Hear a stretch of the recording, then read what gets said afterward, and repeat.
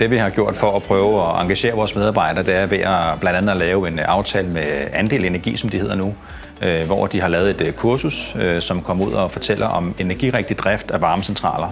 Der kommer vi ud i varmecentralerne. De får en, en grundlæggende forståelse af, hvad er det for nogle parametre, der sker. Hvad skal man dreje på? sommerluk for eksempel. Man skal huske at lukke for varmen.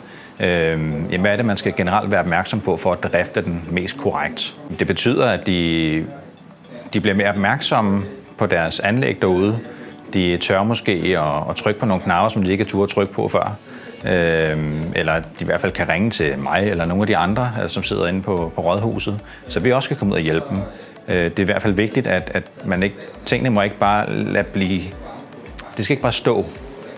Altså, man skal, man skal turde gøre noget for at kunne ændre noget. Ja, jeg kan i hvert fald mærke, at, at der er blevet taget fat i, i mig blandt andet, og i en af mine andre kollegaer, netop fordi, at de nu er blevet opmærksomme på, på de problematikker, der kan være i bygningerne. Og det har jo skabt en nysgerrighed, øh, og netop også gjort, at der er blevet fundet nogle fejl, som der måske ikke har været fundet før. Blandt andet dårlig afkøling, som vi har fundet nogle stykker af nu. Og der kommer de jo selv med konkrete eksempler på, hvordan vi også kan løse problemerne nu.